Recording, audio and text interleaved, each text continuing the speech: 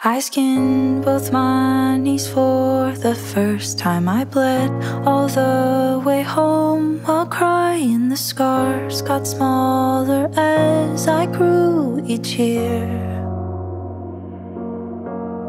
I lifted barbells with my father, rode on his bike with him to grad school, toppled wood scraps under projector lights.